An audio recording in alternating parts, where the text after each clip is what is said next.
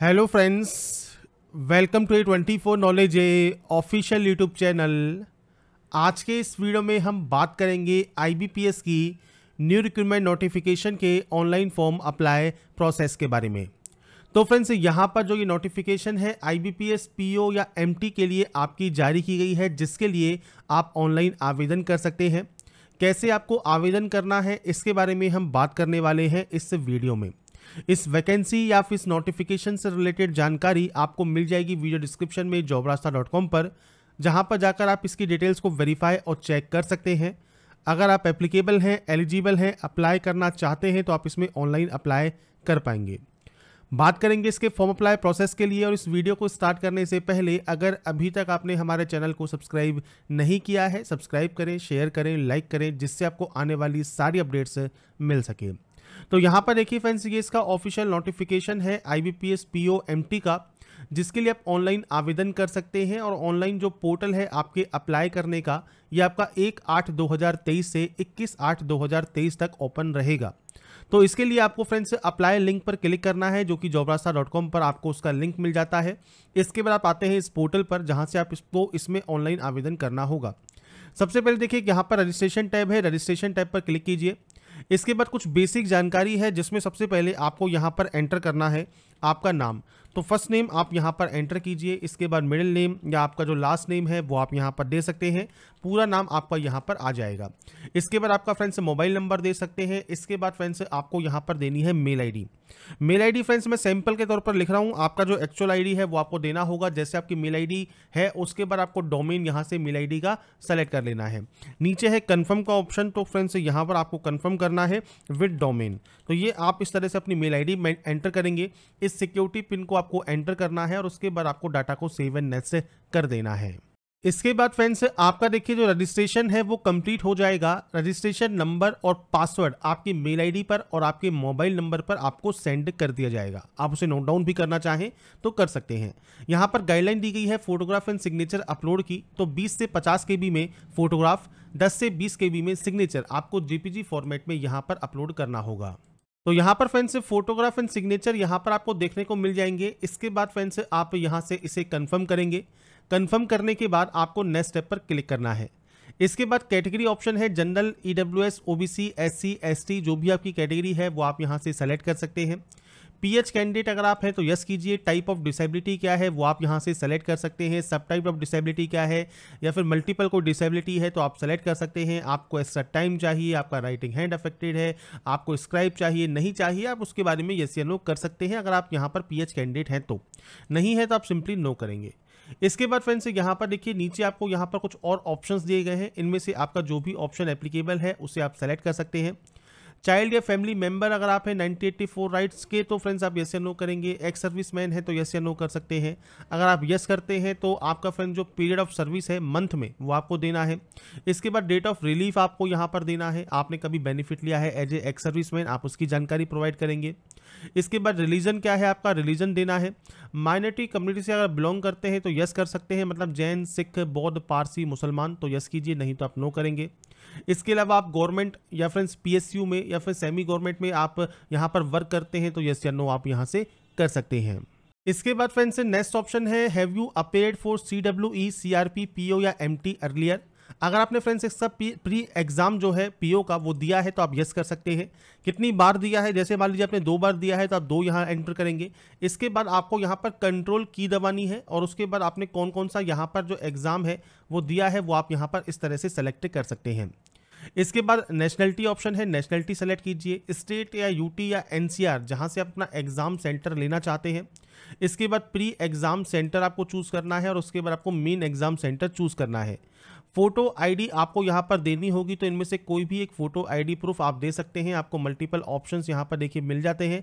तो आपके अकॉर्डिंग जो भी ऑप्शन या आईडी कार्ड आप देना चाहें, वो आप आईडी कार्ड दे सकते हैं और उस आईडी कार्ड का नंबर इसके बाद है डेट ऑफ़ बर्थ तो डेट मंथ एंड ईयर आपको देना होगा। इसके बाद आपको जेंडर सेलेक्ट करना होगा। आपका आधार कार्ड नंबर आपका पैन कार्ड नंबर आप यहाँ पर दे सकते हैं।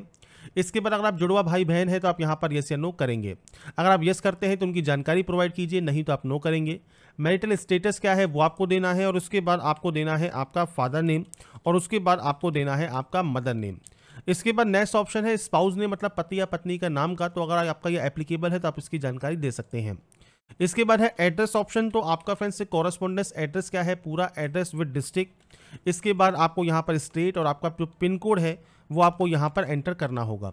अगर आपका प्रेजेंट और आपका परमानेंट सेम है एड्रेस तो आप येस करेंगे। अलग अलग है तो आप अलग अलग एंट्री कर सकते हैं। जीएसटी आपको चूज़ करनी है। इसके बाद आपको डाटा को वैलिडेट करना है। वैलिडेट का फ़ायदा यह है कि अगर कोई भी ऑप्शन आपका ब्लैंक होगा तो आपको वहाँ पर देखिए एरर शो करेगा। तो आप स्क्रॉल करते हुए जब ऊपर जाएँगे तो आपको वहाँ पर एरर शो करेगा कि आपने इस ऑप्शन को ब्लैंक छोड़ दिया है। इसके बाद फ्रेंड्स आप उस ऑप्शन को सही करेंगे और उसके बाद दोबारा से जब वैलिडेट करेंगे और ये वेरीफाइड हो जाएगा, इसके बाद आप सेवन नेस पर क्लिक करेंगे।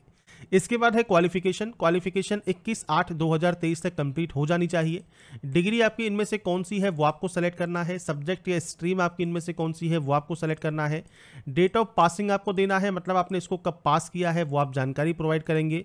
परसेंटेज ऑफ़ मार्क्स क्या है, वो प्रोवाइड आपको करना है और डिवीज़न आपको यहाँ से सेलेक्ट कर लेना है। इसके बाद पीजी डिग्री है तो आप पीजी डिग्री की जानकारी, पोस्ट कोई क्वालिफिकेशन है प्रोफेशनल तो आप उसकी जानकारी दे सकते हैं। कंप्यूटर की वर्किंग नॉलेज आपको होनी चाहिए तो आप यस करेंगे। अब इसमें से आपके पास क्या है? सर्टिफिकेट है तो सर्टिफिकेट पर जाइए। इसमें देखिए दो ऑप्शन है, या तो लैंग्वेज या फिर ऑपरेशन डिप्लोमा कोई है तो आप डिप्लोमा सेलेक्ट कर सकते हैं। डिग्री कोई है तो डिग्री सेलेक्ट कर सकते हैं। और आपने हाई स्कूल या कॉलेज या इंस्टीट्यूट में आपने आई टी सब्जेक्ट पढ़ा है कंप्यूटर एज ए सब्जेक्ट पढ़ा है तो आप उसे सेलेक्ट कर सकते हैं। तो ये फ्रेंड्स बेसिक ऑप्शन है, जो कि आपको देना होगा। कोई बेसिक सर्टिफिकेट सर्टिफिकेट है तो आपके पास कंप्यूटर ऑपरेशन आप सेलेक्ट कर सकते हैं। इसके बाद वर्किंग नॉलेज आपके पास है, कोई मान लीजिए आपके पास कोई भी वर्क एक्सपीरियंस है तो आप यहाँ पर यस कर सकते हैं। और यस तब करेंगे जब आप प्रेजेंटली वर्किंग है तो आप अपनी जानकारी प्रोवाइड कर सकते हैं। अगर आप प्रेजेंटली वर्किंग नहीं है या आपके पास कोई एक्सपीरियंस नहीं है तो आप नो करेंगे। प्री एग्ज़ाम ट्रेनिंग अगर आप लेना चाहते हैं तो आप कहाँ पर लेना चाहते हैं? और ये सिर्फ़ S C S T O B C minority community के लिए रहता है। इसके बाद फ्रेंड्स यहाँ पर देखिए, आपके खिलाफ कोई भी केस वगैरह है या नहीं है, आप उसकी जानकारी देंगे। लैंग्वेज नॉन कौन कौन सी लैंग्वेज आप जानते हैं? कम से कम एक लैंग्वेज आप यहाँ एंटर कीजिए रीड राइट और स्पीक करने के लिए और उसके बाद यहाँ से डाटा को वैलिडेट कीजिए। वैलिडेट करने के बाद या वेरीफाई करने के बाद आप डाटा को सेव एंड नेस्ट कर सकते हैं। सेव एंड नेस्ट करने के बाद आता है फ्रेंड्स आपके सामने देखिए बैंक प्रेफरेंस ऑप्शन अब ये क्या है? तो फ्रेंड्स यहाँ पर आपको प्रेफरेंस देनी होगी। इसके लिए फ्रेंड्स, आप जोबरास्ता डॉट कॉम पर या फ्रेंड्स, वीडियो डिस्क्रिप्शन में जो नोटिफिकेशन दिया गया है, वहाँ पर जा सकते हैं। नंबर ऑफ़ वैकेंसीज आपको यहाँ पर दी गई हैं, किस बैंक में कितनी कितनी वैकेंसीज है।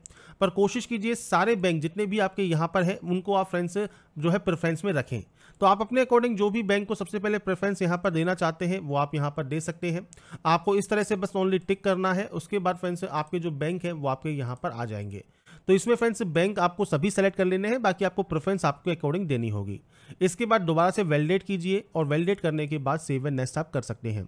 यहाँ पर आता है आपका प्रिव्यू सेक्शन तो इसमें फ्रेंड्स जो भी डिटेल्स आपने फिल की है, वो आप चेक कर लें। आपको यहाँ से आई एग्री करना है और उसके बाद दो ऑप्शन है कि आपने जो नाम फिल किया है, वो आपके आईडी प्रूफ के साथ मैच करता है तो आप इस ऑप्शन को सेलेक्ट करेंगे। और अगर ये मैच नहीं करता है तो फ्रेंड्स एक डॉक्यूमेंट्री प्रूफ आपको फ्रेंड्स एग्ज़ाम सेंटर पर शो करना होगा तो उस कंडीशन में आप इसे सेलेक्ट करेंगे। तो आपका नाम सेम है तो आप इस ऑप्शन को सेलेक्ट कर सकते हैं और एक बार ध्यान से चेक ज़रूर कर लें। कोई भी गलती है बैक जाकर उसे सही कर लें, क्योंकि यहाँ से कंप्लीट रजिस्ट्रेशन करने के बाद आप इसमें कोई भी एडिट नहीं कर पाएँगे। इसके बाद फ्रेंड्स आता है ऑप्शन लेफ़्ट थम इंप्रेशन का। तो लेफ़्ट थम इंप्रेशन अपलोड कीजिए। इसके बाद फ्रेंड्स हैंड एंड डिक्लेशन है तो इसका फॉर्मेट जॉबरासा पर मैंने आपको प्रोवाइड किया हुआ है, आप चेक कर सकते हैं। और इसके लिए भी आपको यहाँ पर देखिए साइज़ वगैरह आपको यहाँ पर दिया गया है। आपको ब्रॉस पर क्लिक करना है फ़ाइल को सेलेक्ट करना है, और उसके बाद आपको यहाँ पर देखिए, आपको जो ऑप्शन है वो मिल जाएगा। और उसके बाद आप इसे अपलोड यहाँ पर कर देंगे।